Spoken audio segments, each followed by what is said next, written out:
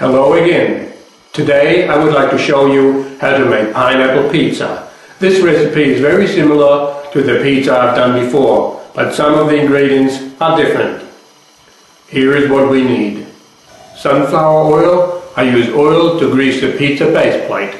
Salt, I'm using pure sea salt, which has become very hard to find. Wholemeal flour, about 200 grams.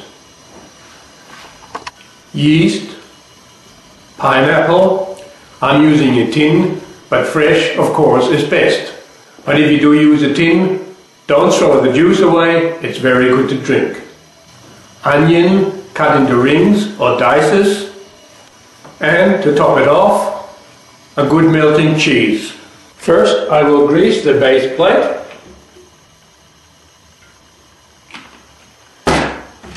This will stop the pizza dough from sticking.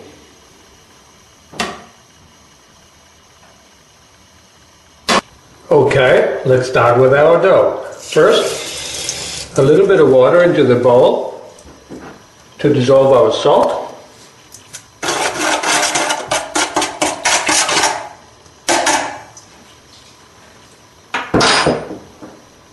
Then we add the flour.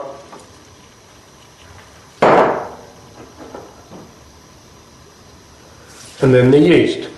It's a good thing not to put the yeast and the salt together, they don't like each other. Okay, and then we start to mix it.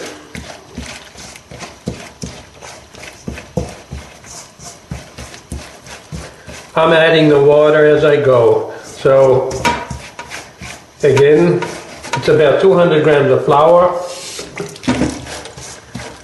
and the yeast and the amount of salt you have seen on the teaspoon.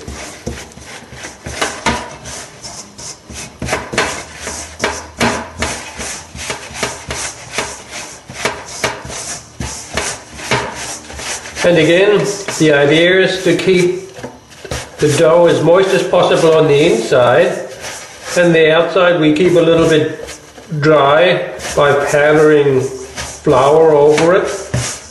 And um, the moister it is, the easier it rises. This is especially true with wholemeal flour because all the nutrients are still in there and um, they're much heavier than industrial flour, so it takes longer to rise and it uses more water.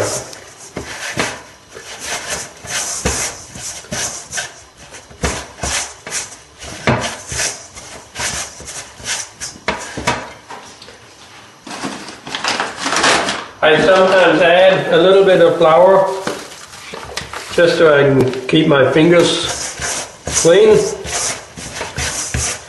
and from sticking.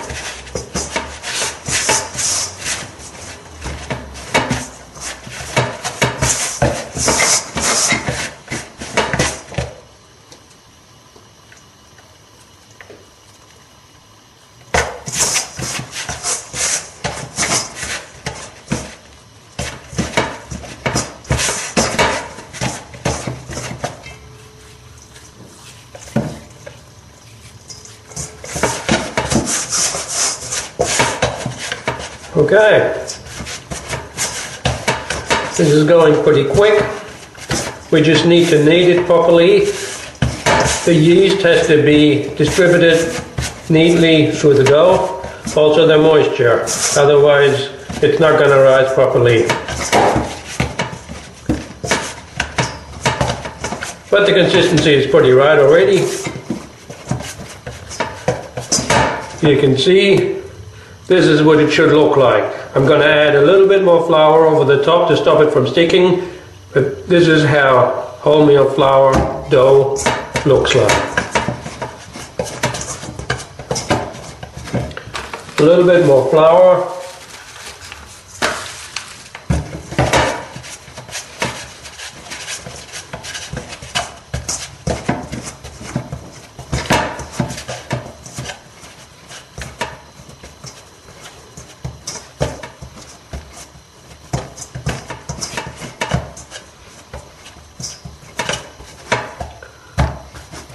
And that's pretty much already right. So I'm going to add a little bit more flour so I can spread it. And that's pretty much it.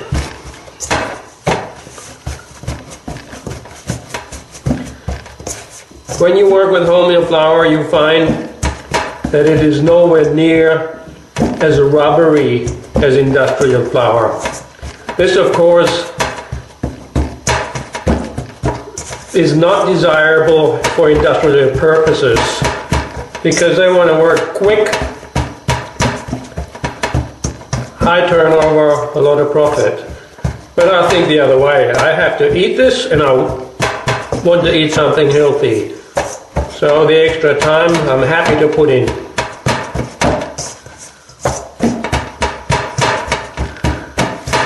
Okay, that's pretty much ready and we'll put it on our pizza plate. Okay, now we put the dough on our pizza plate and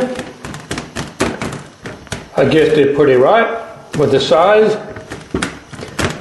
and then we add the ingredients. First, the pineapple.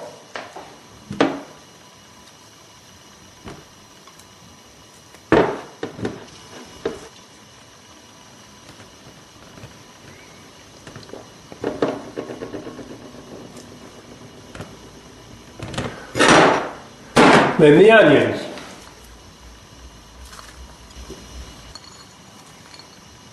And over the top goes the cheese.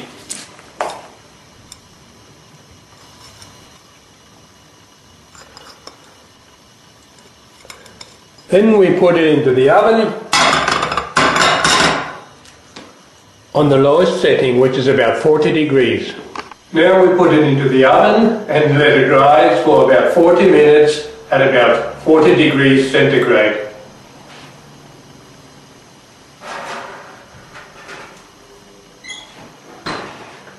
Then we turn it straight on to 250 degrees and let it cook for about 20 to 30 minutes. It's ready when the cheese is properly melted and the crust is a little bit brown. It's been baking now at 250 degrees centigrade for about 30 minutes and it should be ready. So let's have a look. And here it is, wholemeal pineapple pizza for one.